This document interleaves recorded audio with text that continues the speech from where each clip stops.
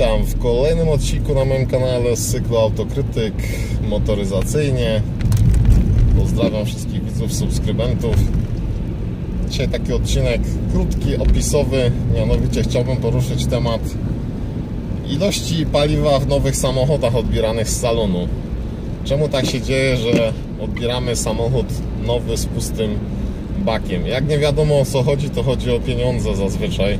Także już możemy się domyśleć o co chodzi. E, jeżeli dealer by miał nalewać 50-60 litrów paliwa do każdego samochodu, no to niestety koszt w okolicach 250-300 zł nawet powoduje, że, że no jest to dla niego nieopłacalne, czyli samochód jest zalewany w fabryce jakąś ilością paliwa od 3 do 5 litrów w zależności od producenta nawet się zdarza, że mniej, chociaż to też. No i przede wszystkim jest to związane z tym, żeby zapobiec też najprawdopodobniej kradzieżom takiego paliwa w trakcie w trakcie transportu, czyli w momencie gdy ten samochód jest y, transportowany właśnie z fabryki do dealera w trakcie podróży koleją, statkami, pociągiem, E, czy lorami samochodowymi, to wszystko powoduje, że po prostu to paliwo jest w takiej małej ilości, czyli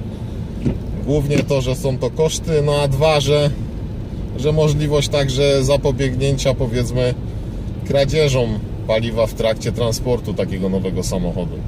Chociaż de facto dealer mógłby nalewać do pełna, no ale to podobno za granicą, z tego co słyszałem w Holandii bodajże, są takie są takie możliwości, że samochód odbiera się zatankowany na full.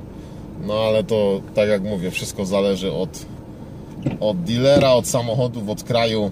Także to nie jest też tak do końca. Także to było na tyle. Taki krótki odcinek. Dziękuję za uwagę. Pozdrawiam wszystkich widzów, subskrybentów. Do usłyszenia do następnego odcinka.